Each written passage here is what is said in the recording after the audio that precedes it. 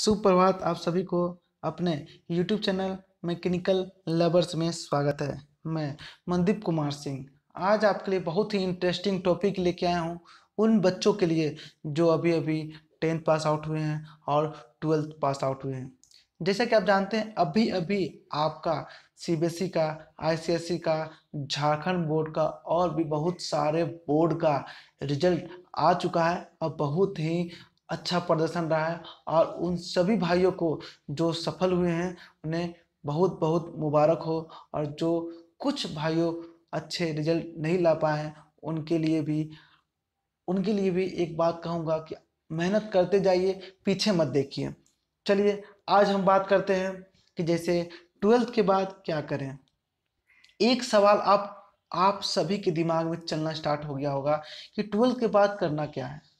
Twelfth के बाद maths लें, साइंस लें, कॉमर्स लें, आर्ट्स लें, में से किसमें चुने अपना भविष्य? अगर आपको अपना भविष्य चुनने में थोड़ी सी कठिनाई हो रही है तो आज हम आपके लिए कुछ बेसिक डिटेल्स आपको बताएँगे कि क्या आपको चुनना चाहिए, किस बेसिस पे आपको चुनना चाहिए। तो ये मेरा हिंदी में है। आपको समझने के लिए बहुत ही अच्छा है, क्योंकि ये हमारा मातृभाषा है और अपना मातृभाषा को गर्व से कहना चाहिए कि हिंदी हमारा मातृभाषा है। इंग्लिश सिर्फ़ कम्युनिकेशन लैंग्वेज है एक दूसरे से कम्युनिकेट करने के लिए। तो चलिए टाइम बर्बाद ना करते हुए आज आपके लिए टॉपिक लाए हैं ट्वेल्थ के बाद क्या करें? बारहवीं के बाद मैथ्स लें साइंस लें कॉमर्स लें और आर्ट्स लें। में से कि, किसको चुने जो हमारा भविष्य उज्जवल हो सके अच्छा हो सके ठीक है? तो जैसा कि जानते हैं, बारहवीं कक्षा के बाद किन विषयों में बनाए अपना भविष्य को लेकर अगर आप भी चिंतित थे तो इस मेरे वीडियो को ज़रूर देखें। ये एक नीरज जीव नानी सर का पोस्ट है, जो मैं आज आपके लिए लेके आया हूँ। जैसे कि हम सब जानते हैं, कक्षा दसवीं तक हम सभी को एक जैसा विषय पढ़ाए जाते हैं। और जैसे ही हम दसवीं कक्षा पास करते हैं तो हमें सब्जेक्ट चुनने का मौका मिलता है। और हम वो सब्जेक्ट सेलेक्ट करते हैं जिसमें हमारी रुचि इंटरेस्ट होती है। लेकिन बहुत से छात्र, छात्राओं को यह तय करने में बहुत परेशानी होती है कि ट्वेल्थ के बाद क्या करना चाहिए या ट्वेल्थ के बाद कौन सा कोर्स करें? क्योंकि हर विद्यार्थी चाहता है कि वो अपने क्षेत्र में आगे बढ़े और महारत हासिल करे, जिससे उसकी अपनी समाज में एक अलग पहचान बन सके। जब हम दो साल अपने पसंदीदा सब्जेक्ट के साथ बारहवीं की परीक्षा उत्तीर्ण पास कर लेते हैं, जो हमारे फ्यूचर, भविष्य का एक टर्निंग पॉइंट होता है। क्योंकि बारहवीं बाद ही हम आगे की मास्टर डिग्री के लिए अप्लाई कर सकते हैं और बारहवीं बाद ही हम आगे की पढ़ाई के लिए कॉलेज में एडमिशन ले पाते हैं। बारहवीं पास करने के बाद बहुत से ऐसे स्टूडेंट होते हैं, जो अपने करियर के सही दिशा तो देना चाहते हैं, लेकिन उन्हें पता नहीं होता है। तो ट्वेल्व के बाद क्या करें? इसलिए हमारे जो मैकेनिकल यूट्यूब चैनल है, हिंदी सहायता की एक टीम है, उनकी पोस्ट आज आपके लिए मैं लेके आया हूँ, जो आज आपको बताएगा। हम आपको सभी विषयों की संपूर्ण जानकारी देंगे, जैसे ट्वेल्थ साइंस के बाद क्या करें, ट्वेल्थ कॉमर्स के बाद क्या करें, और ट्वेल्थ आर्ट्स के बाद क्या करें, जिससे आपका भविष्य को सही दिशा मिल सके। चलिए तो शुरू करते हैं। और एक एक करके आपको सभी विषयों को जानकारी देते हैं। ट्वेल्थ के बाद क्या करें? और वो भी हिंदी में। कैरियर चुनना और रास्ता चुनना सब आपके हाथों में होता है। आप अपने तरीके से चुन सकते हैं। आप में क्या खूबी है और क्या कमी है उनसे। ट्वेल्थ साइंस के बाद क्या करें? ठीक है? सबसे पहले हम बात करते हैं साइंस सब्जेक्ट का, साइंस विषय की। क्योंकि यह कॉमर्स और आर्ट्स विषय से थोड़ा ज़्यादा मुश्किल होता है। इसका कारण यह है कि साइंस, टेक्निकल और थियोटिकल दोनों के रूप में होता है। साइंस सब्जेक्ट से ही बारहवीं पास किया हुआ स्टूडेंट किसी भी फ़ील्ड में जा सकता है और अपना करियर बना सकता है। ट्वेल्थ साइंस में तीन तरह के ग्रुप होते हैं, जो आपको नीचे बताए गए हैं। फिजिक्स, केमिस्ट्री, मैथ जिसे हम PCM बोलते हैं। फिजिक्स, केमिस्ट्री, बायोलॉजी जिसे हम PCB बोलते हैं। और जनरल ग्रुप होता है फिजिक्स, केमिस्ट्री, मैथ्स बायोलॉजी जिसे पी बोलते हैं, ठीक है? जनरल ग्रुप वाले स्टूडेंट दोनों फ़ील्ड में जा सकते हैं। मेडिकल फ़ील्ड और इंजीनियरिंग फ़ील्ड चलिए, पहले हम आपको बताते हैं कि साइंस पीसीएम वाले स्टूडेंट कहाँ कहाँ अपना करियर बना सकते हैं। ट्वेल्थ मैथ के बाद क्या करें इन हिंदी में?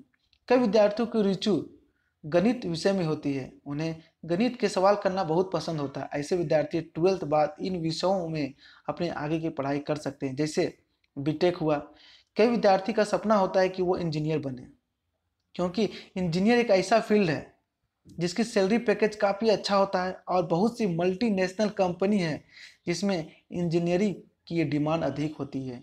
अगर आपका भी सपना है कि आप इंजीनियर बने तो इंजीनियर बनने के लिए आपको बीटेक या बीई करना होगा। यह दोनों कोर्स को करने में चार वर्ष का समय लगता है। बीटेक या बीई करने के लिए आपको बारहवीं पीसीएम से पास होना ज़रूरी है, जैसे फिजिक्स केमिस्ट्री केमिस्ट्री और मैथ याद रहे कि बीटेक या बी करने के लिए आपको JEE main advance exam pass करना ज़रूरी है। बीटेक या बी आप किसी भी सरकारी या प्राइवेट कॉलेज से कर सकते हैं, लेकिन अगर आप जेई मेन और एडवांस पास करते हैं, जो कॉलेज आपको मिलता है, उससे आपको कई फ़ायदे मिलेंगे। JEE main exam private college में एडमिशन के लिए होती है और जेई एडवांस एग्ज़ाम सरकारी कॉलेज में एडमिशन के लिए होती है। बीटेक या बी में कई प्रकार की ब्रांच होती है, जिसमें से आप अपनी रुचि के अनुसार कोई सी भी एक ब्रांच सेलेक्ट कर उसका अध्ययन कर सकते हैं। आपका इंटरेस्ट कंप्यूटर या इंफॉर्मेशन टेक्नोलॉजी में है और आप बारहवीं पी सी पास हैं तो आप bachelor of science in information technology B S C I T कर सकते हैं। P S C I T करने के लिए आपको तीन वर्ष का समय लगता है। बी सी ए क्या है? तो बैचलर ऑफ़ कंप्यूटर भी एक ऐसा कोर्स है, जिससे बारहवीं पी सी एम पास वाले विद्यार्थी तीन साल में पूरा कर सकते हैं। इस कोर्स में वही स्टूडेंट जाते हैं जिनकी रुचि कंप्यूटर प्रोग्रामिंग में होती है। बीसीए कोर्स के बारे में पूरी जानकारी पाने के लिए हमारे पोस्ट है और आपको हम एक वीडियो भी इस पर बना के देंगे फुल डिटेल में, अगर आप बीसीए में इंटरेस्ट रखते हैं तो जिसे हम बैचलर ऑफ़ कंप्यूटर एप्लीकेशन कहते हैं। चलिए, ट्वेल्थ, बायो के बाद क्या करें, जो पीसीबी होता है।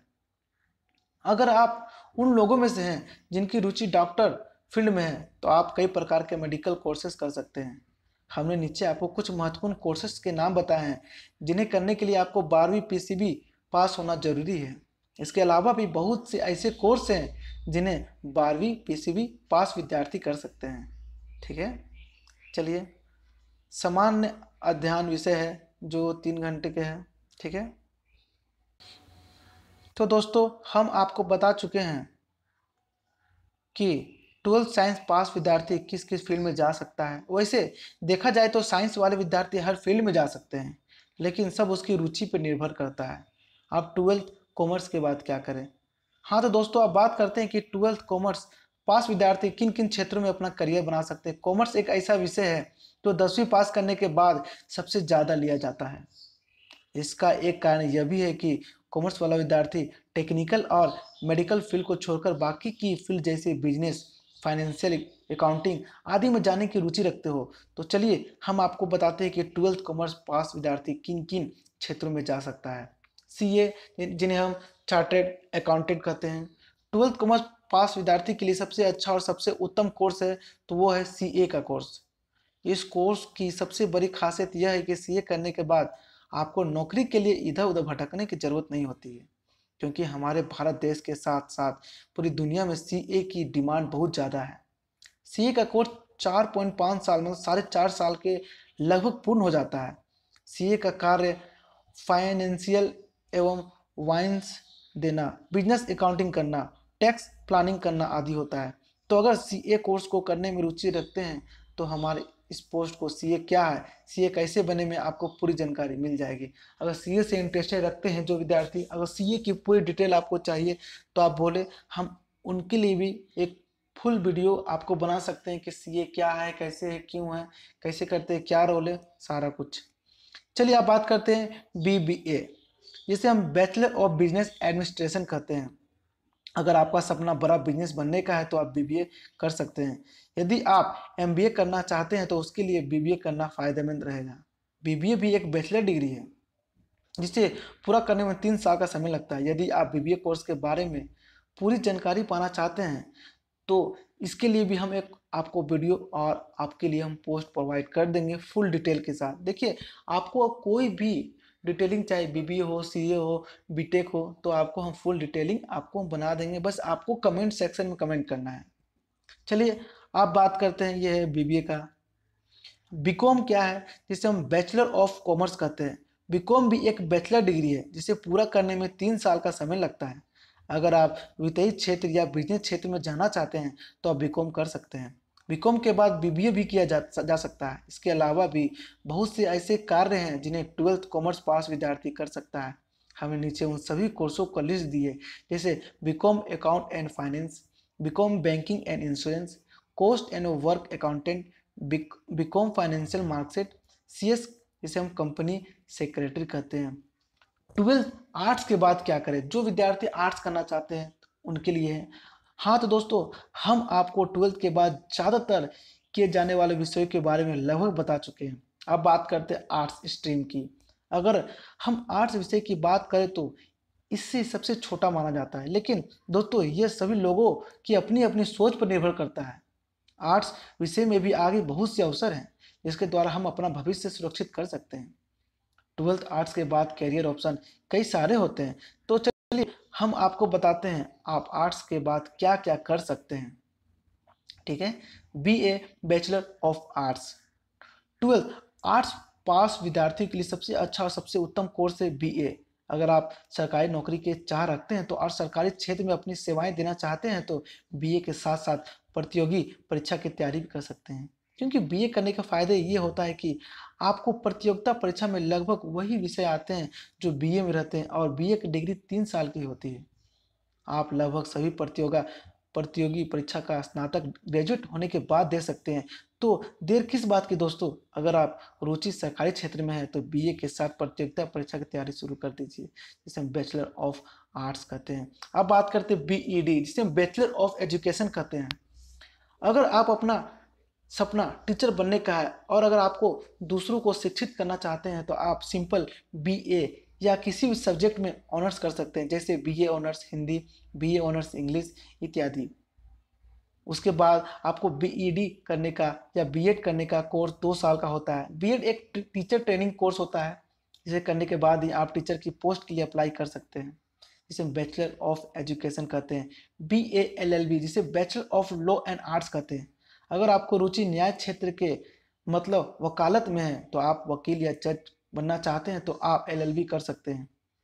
एल कोर्स में आपको आर्ट्स के साथ लॉ पढ़ना होता है यह कोर्स पाँच साल का होता है, ठीक है? अगर आप एल एल से फुल जानकारी चाहते हैं तो इसके लिए एक आपको वीडियो हम पर्सनल बना देंगे। आपको बस कमेंट सेक्शन में कमेंट करना है। आर्ट्स में आपको political science economic history, sociology आदि विषय पढ़ने होते हैं। आपको पहले तीन वर्ष आर्ट्स के सब्जेक्ट पढ़ने के बाद बाकी बचे दो साल में लॉ के सब्जेक्ट पढ़ने होते हैं। Criminal law, administrative law, corporative law, patent law, international law और लेबर आदि। इसके अलावा भी बहुत से ऐसे कोर्स हैं जिन्हें ट्वेल्थ आर्ट्स पास विद्यार्थी कर सकता है। हमने नीचे उन सभी कोर्सों का लिस्ट दिए जो आप देख सकते हैं। Fashion designing, hotel management course, journalism जिसे हम पत्रकारिता बोलते हैं, event management B S W जिसे हम बैचलर ऑफ़ सोशल वर्क्स कहते हैं, और ग्राफिक्स डिज़ाइनर कंक्लूजन पूरा यही है कि ट्वेल्थ के बाद क्या करें तो हाँ। तो अब आपको समझ आ गया होगा कि ट्वेल्थ के बाद क्या क्या करें और कितने सारे वैरायटी हैं। आप अपने रुचि के अनुसार, आपका जिसमें इंटरेस्ट है उसके अनुसार आप चुनें। इसके अलावा, अगर आप यह सर्च कर रहे हैं कि ट्वेल्थ के बाद क्या कलेक्टर कैसे बने ट्वेल्थ के बाद आईपीएस कैसे बने या ट्वेल्थ के बाद गवर्नमेंट जॉब तो हमारी तो आप बस कमेंट सेक्शन बोलिए, हम आपके लिए सारा बंदोबस्त या वीडियो आपके लिए अच्छे से समझा के लाएँगे। किसी भी बातों में और बहकावों में ना आए। और आप जिस क्षेत्र में जाना चाहते हैं, उसके बारे में किसी विशेषज्ञ से सलाह अवश्य लें, क्योंकि यह सवाल आपके भविष्य का होता है। इसमें लापरवाही न रखें। ऐसा ना हो कि आपका मित्र जो कोर्स कर रहा हो, आप भी उसी के पीछे वही कोर्स करने लगे, क्योंकि हर व्यक्ति की अलग अलग क्षेत्र में रुचि होती है। इसलिए आप वही कोर्स करें जिसमें आपकी रुचि हो या फिर जो आपका सपना हो जिससे आप सपना पूरा करना चाहते हैं। तो दोस्तों, आपको मेरा वीडियो कैसा लगा है? ठीक है? अगर आपको इसमें और भी जानकारी चाहिए, जैसे ट्वेल्थ के बाद B C A B com B E D B tech B E B A L L B B B C A का पूर्ण जानकारी लेना चाहते हैं, ठीक है? फुल डिटेल लेना चाहते हैं तो बस आपको कमेंट सेक्शन में कमेंट करना है कि इस पे हम एक वीडियो चाहते हैं सर आप दीजिए और आपके लिए हम पूर्ण शुद्ध हिंदी भाषा में आज आपके लिए हम फिर हम फिर से वीडियो लाएँगे। तो वही वीडियो हम लाना चाहेंगे जिसमें बच्चों की ज़्यादा रुचि होगा, ठीक है? अगर आपको मेरा वीडियो अच्छा लगता हो अगर आपको मेरा पोस्ट अच्छा लगता हो, ये पोस्ट तो नीरज सर का है, ठीक है? तो प्लीज़ मेरे वीडियो और जो आपका चैनल है यूट्यूब चैनल, मैकेनिकल लवर्स को सपोर्ट करें और प्यार दें। आपका अपना यूट्यूब चैनल है, मैकेनिकल लवर्स। धन्यवाद।